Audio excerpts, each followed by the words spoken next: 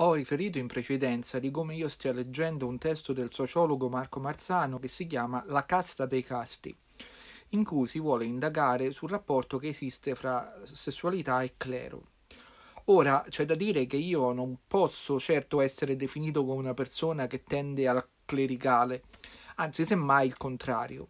Però cerco di essere onesto e di non sparare nel mucchio tanto per colpire ho un grande rispetto per il sacerdozio cattolico e mi prende molta tristezza quando ne osservo le derive. Però devo anche dire di aver conosciuto molti svariati buoni sacerdoti, alcuni anche santi, persone perfettamente equilibrate e realizzate.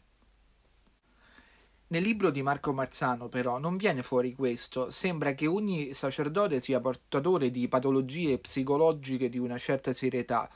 In un punto del testo, il sociologo afferma che cito, il profilo psicosociale tipico del seminarista medio tracciato dagli esperti che ho incontrato è in definitiva quello di un giovane di modeste condizioni, spesso con una mamma molto invadente, possessiva, castrante e sessuofoba, un padre debole e assente o autoritario e violento, una personalità immatura con seri problemi relazionali, una scarsissima stima di sé e molto spesso una difficoltà spiccata ad accettare il proprio orientamento sessuale.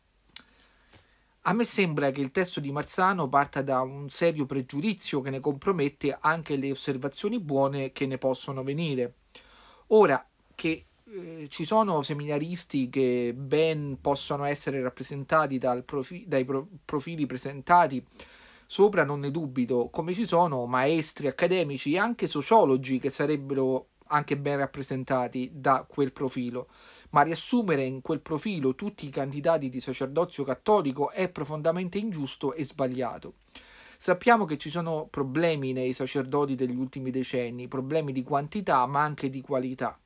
Ma non possiamo mettere tutto in un unico calderone. Marco Marzano parla molto della diffusione dell'omosessualità nel clero e indubbiamente questo è un problema reale su cui ci si dovrebbe ragionare seriamente senza continuare a nasconderlo. Però non dimentichiamo tanti santi sacerdoti, conosciuti o meno, e la gratitudine che in un modo o nell'altro tutti gli dobbiamo.